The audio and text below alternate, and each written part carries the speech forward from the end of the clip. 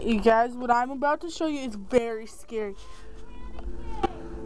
There's a fish there. No, that's not what's scary.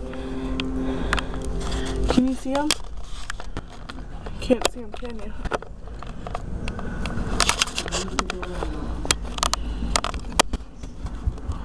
See those things? See those things? Things are freaking scary! They're like trying to eat my face off. I don't say that about every fish my cousin catch either. That fish is basically dead. Ah! See that thing's scary. It's gonna eat me. It looks like a pickle. it looks like a swimming pickle. Roar. See you later.